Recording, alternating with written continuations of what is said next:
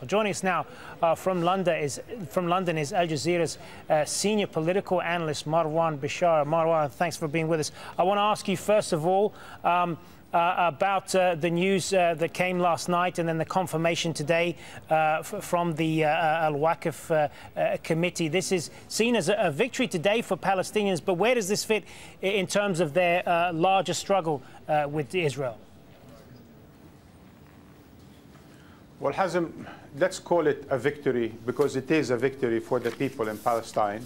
It's a victory for popular resistance. It's a victory for non-violent actions and civil disobedience. And certainly it's a victory for those who are steadfast in Jerusalem and those who supported them uh, in Palestine and the rest of the world.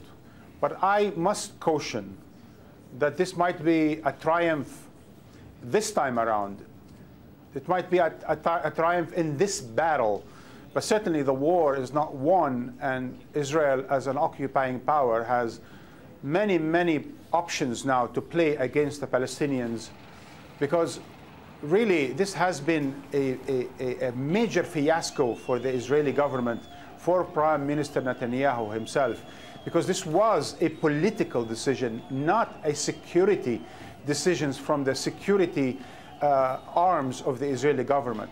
So this major PR fiasco, this major political fiasco, this major strategic fiasco where Netanyahu certainly now looks like the occupying power in Jerusalem, uh, unlike what he's been delusional about denying, all of that means that I think he will probably try to get back against the Palestinians. So I think we should prepare for another confrontation, not because the Palestinians might now unite in order to raise their demands and enter into a much wider civil disobedience type uprising.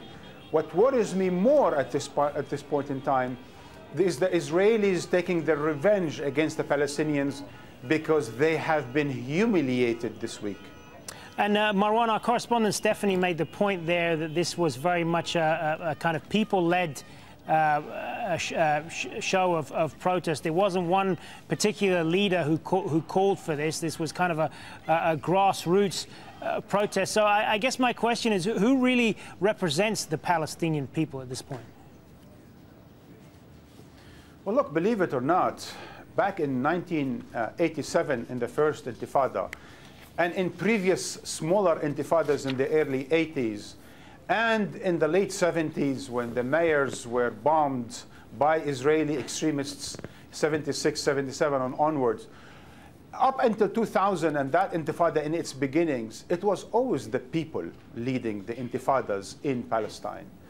This time around, it was even more obvious because it happened in East Jerusalem, where uh, President Abbas has no authority. This is completely under Israeli occupation.